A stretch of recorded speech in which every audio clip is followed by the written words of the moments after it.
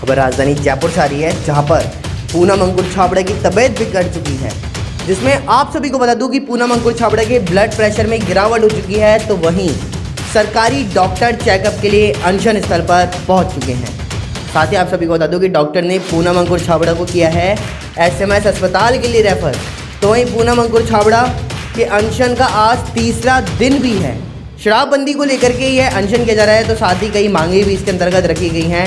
साथ ही साथ तीन दिन से भूखी प्यासी अनशन पर बैठी हुई हैं पूनम अंकुर छाबड़ा। राजस्थान में शराबबंदी को लेकर के लगातार पूनम अंकुर छाबड़ा का संघर्ष अभी भी जारी।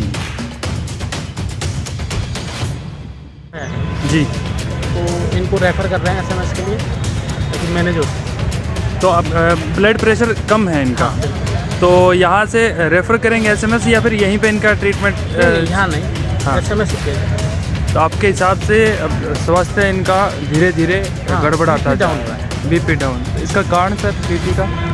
जब अपन कुछ भी अनशन करते हैं हाँ। तो ग्लूकोज लेवल डाउन होता है। जी।